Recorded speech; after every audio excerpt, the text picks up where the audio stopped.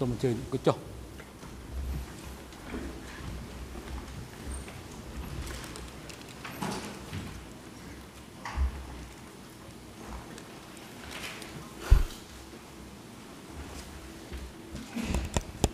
អង្គ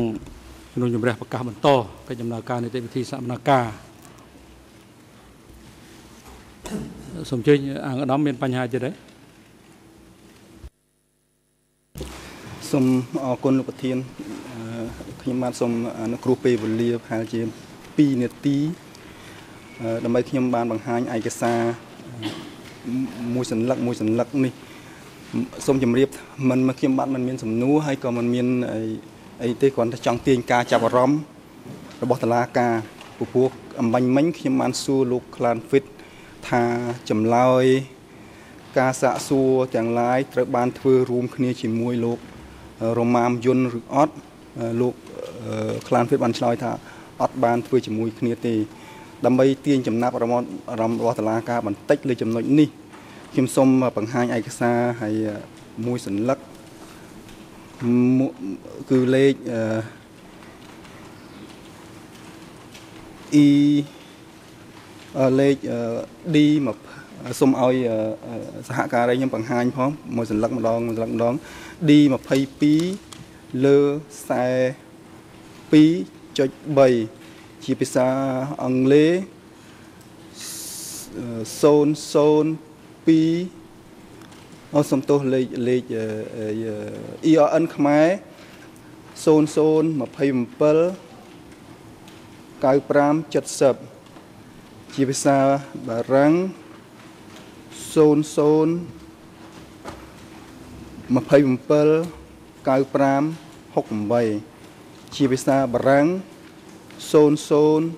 75 20 92និងឯកសារមួយទៀត D 22លើ43.2ដែលមានលេខ ERN ភាសាខ្មែរ 0027 95 43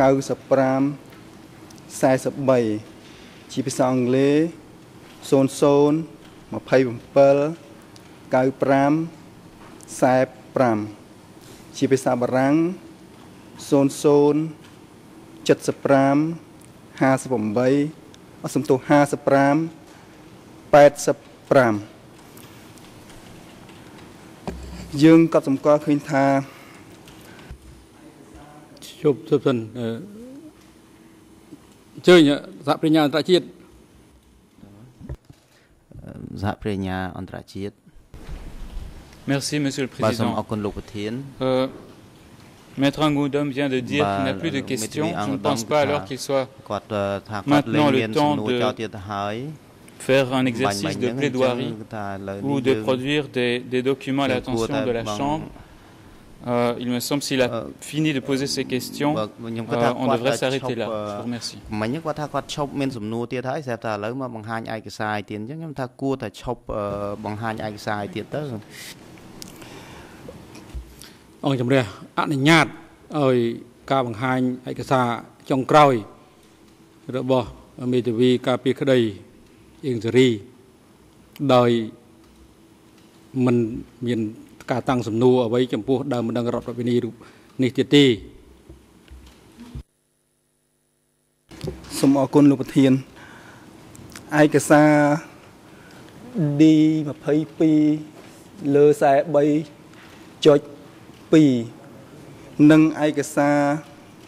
D22 លើ43.3គឺបើយើងពិនិត្យមើលភិនភាក ទឹកដៃសរសេរក៏ដូចគ្នាថ្ងៃកាលបរិឆេទនៃឯកសារក៏ដូចគ្នាព័ត៌មានដូចគ្នាទាំងស្រុងតែម្ដងលើកលែងតែឈ្មោះមនុស្សគឺនៅឯកសារ DD 22លើ43.2ជារបស់លោករ៉ាម៉ាមយុន ត្រង់ឈ្មោះទី1ក៏ដាក់រមាមយន្តទី2ដាក់ក្លានហ្វិតឯដោយឡែកឯកសារ22 D22 D22 លើ42.3ត្រង់ឈ្មោះគាត់ទី1ក៏ដាក់ clan fit ទី2ក៏ដាក់រមាមយន្តអានេះខ្ញុំគ្រាន់តែទាញចំណាប់អារម្មណ៍តឡាការថា មានការប្រុងប្រយ័ត្នក្នុងការ ធ្វើឯកសារនេះតើអ្នកឆ្លើយនឹងនៅជាមួយគ្នាបានព័ត៌មានអីដូចគ្នាម្លេះដូចគ្នាទាំងសឹងទាំងស្រុងទៅហើយតើព័ត៌មាននឹងចេញទោះជាសាកសីអ្នកផ្ដិតមានដៃនឹងបានផ្ដិតមែនប៉ុន្តែចេញពីឆន្ទៈពីចម្លើយពិតប្រាកដរបស់អ្នកឆ្លើយឬអត់ដើម្បីជាឧទាហរណ៍ទៅអនាគតប្រហែលជាអាចមានបញ្ហានេះទៀតយើងនឹងលើកយកមកពិចារណាអញ្ចឹងបានន័យថានៅដំណាក់កាលហើយសួរចម្លើយឬស៊ើបអង្កេតហ្នឹងការសួរចម្លើយឬស៊ើបអង្កេតហ្នឹងអាចមានបញ្ហាអញ្ចេះកើតឡើងអញ្ចឹងសូមតឡាការមេត្តាចាប់អារម្មណ៍ផងទៀតហើយសូមបើមានបញ្ហានេះថ្ងៃក្រោយកើតឡើងទៀតខ្ញុំនឹងលើកជូនទៀតនេះគ្រាន់តែសូមជម្រាបថាវាវាវាព័ត៌មានឯកសារអ្នកធ្វើតាក់តែងដូចគ្នា ហើយអ្នកឆ្លើយអត់ចេះអសរអីដូចគ្នាអញ្ចឹងបានន័យថាវាតើចម្លើយនេះចេញពីឆន្ទៈរបស់អ្នកឆ្លើយពិតប្រាកដឬអត់សូមអរគុណលោកប្រធានអរគុណសូមអញ្ជើញមេធាវីតំណាងនាំមុខតំណាងដើមបណ្ដឹងរដ្ឋប្រពៃណីជាតិបាទសូមគោរពលោកប្រធានអឺចំបាញ់មិញខ្ញុំមានបំណងនៅក្នុងការជំទាស់តកតងទៅនឹងការធ្វើអត្ថាធិប្បាយរបស់លោកអង្គឧត្តមដែលជា មេធាវីបានសួរទៅលើលោក Clan Fit អំបញ្ញមិញហើយបានលើកអំពីឯកសារផងហើយលោកបានធ្វើការអធិប្បាយទៅលើឯកសារទាំងពីរនេះពេលនេះខ្ញុំបាទយល់ថាគឺជាពេលសម្រាប់សួរសំណួរមិនមែនជាពេលសម្រាប់ធ្វើការអធិប្បាយឬក៏ធ្វើការសន្និដ្ឋានទេ ហើយសូមលោកប្រធានក្នុងករណីក្រោយក្រោយសំណុំពរថាលោកប្រធានជួយ ធ្វើយ៉ាងណាកុំឲ្យមានការអធិប្បាយនៅក្នុងពេលធ្វើសំណួរដែលជាការសន្និដ្ឋានដែលនឹងត្រូវធ្វើនៅពេលក្រោយសូមអរគុណលោកប្រធានអរគុណលោកមេធាវីតំណាងនៅមុខតំណាងដើមម្ដងរដ្ឋវិនីទី1លោកមេធាវីជាភិក្ខីដែលលោកមានភារកិច្ចក្នុងការតាមដាន នៅការតាំងសំណួររបស់ភិក្ខីម្ខាងទៀតដើម្បីធ្វើការជំទាស់មុនពេល ឆ្លើយថាសំណួរហ្នឹងគួរតែ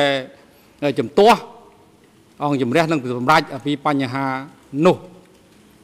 នេះជារឿងរបស់ភិក្ខីដោយឡែកអង្គជំរះក៏មានភារកិច្ច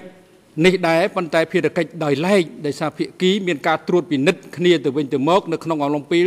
ពិភាក្សាដេញដោល បញ្ហាទី2ឯកសារអំបញ្ញមិញនេះគឺគេដាក់ដើម្បីធ្វើការសង្កេតព្រោះជាផ្នែកមួយដែលគេយល់ឃើញថា មានប្រយោជន៍សម្រាប់កិច្ចការពាររបស់គេ ជាការពិតណាស់អង្គជំរះបានត្រៀមខ្លួនជាស្រេចក្នុងការដកចេញមិនអោយភិក្ខីធ្វើសេចក្តីសន្និដ្ឋានកណ្ដាលទីនេះឡើយ តែភិក្ខីអាចធ្វើការកត់សម្គាល់នៅអង្គឯកសារផុសតាងដែលពាក់ព័ន្ធបានពីព្រោះដល់ពេលគេធ្វើដោយសន្និដ្ឋានបញ្ចប់នោះទើបអង្គជំរះអនុញ្ញាតអញ្ចឹងហើយបានជាពីម្សិលមិញអង្គជំរះបានជម្រាបជូនដល់ភិក្ខីរួចហើយថាការជំទាស់ ដែលបានឆ្លើយរួចហើយមិនអាចជំទាស់បានទេ ការជំទាស់រួមរបៀបនេះ ចំពោះការផ្ដល់សក្ខីកម្មរបស់សាក់សីអ្នកជំនាញឬដើមបណ្ដឹងរដ្ឋរដ្ឋវិនីភាគីត្រូវទៅធ្វើ នៅចុងបញ្ចប់នៃកិច្ចពិភាក្សាដេញដោលជាបន្តទៅនេះអង្គជំរះសូមបកុលវេទិកាទៅ មេធាវីការពីក្តីខៀវសំផនដើម្បីមានឱកាសក្នុងការតាំងសំណួរចំពោះដើមម្ដងរដ្ឋបវិនីខ្លានហ្វីតប្រសិនបើមានសូមអញ្ជើញ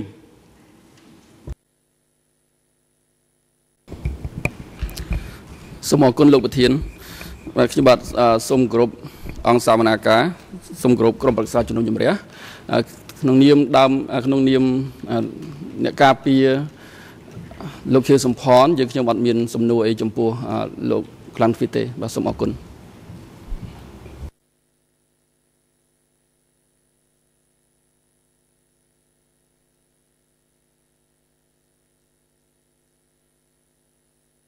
បាទអរគុណនៅការបង្ហាញជំហរចុងក្រោយនេះ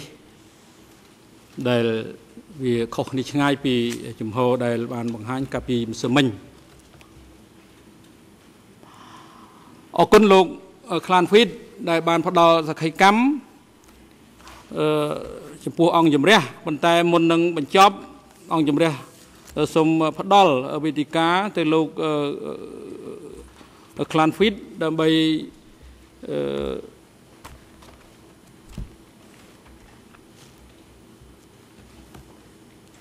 ដើម្បីមានឱកាសក្នុងការថ្លែងនៅសេចក្តីទុកសោកវេទនា ដែល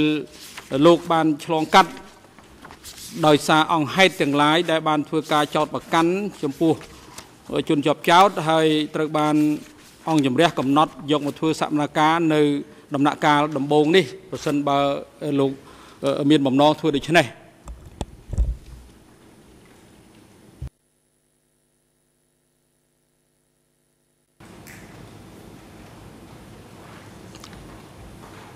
បាទខ្ញុំសូមឆ្លើយខ្ញុំជាមួយអ៊ំលោកខៀវចំផនខ្ញុំអត់មានរឿងរ៉ាវនិយាយអីទេមិនមកអត់មានការនិយាយស្ដីអត់មានឃើញមុខមាត់ក៏ទេលឺទេគេថាលោកខៀវចំផនប៉ុណ្ណឹងយើងមិនសួរជាក់លាក់ចំពោះលោកខៀវសំផនទី ចំពោះអង្គហេតុដែលបានចោតប្រកាន់ហើយដែលបានលើកឡើងនៅធ្វើការដេញដោលកន្លងមកនេះ ក្នុងនាមលោកជាដើមម្ដងរាប់ដល់ពេលនេះតើលោកមានបំណងសម្ដែងនៅការទុកសោករបស់លោកដែលលោកបានឆ្លងកាត់បទពិសោធន៍នៅក្នុងអំឡុងពេលនៃរបបកម្ពុជាប្រជាធិបតេយ្យចំពោះមុខអង្គជំរះដែរឬទេ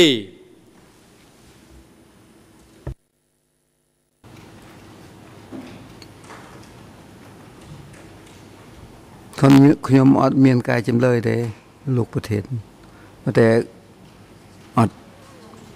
ស្ដាប់លើការងារអីទេលឺទេគេគេថាអឺគណៈភូមិភ័ក្រលោកអ៊ំ4នាក់និងគណៈភូមិភ័ក្រខ្ញុំលឺតែប៉ុណ្្នឹងទេគេហៅអ៊ំខៀវចំផនខៀវចំផននឹងប៉ុណ្្នឹងបាទអរគុណអរគុណលោកក្លាន់ហ្វីតដែលលោកបានចំណាយពេលវេលាដ៏មានតម្លៃអញ្ជើញចូលមកផ្ដល់សក្ខីកម្ម តាមការកោះហៅរបស់អង្គជំនុំជម្រះហើយលើនេះដំណើរការនៃការស្ដាប់សក្ខីកម្ម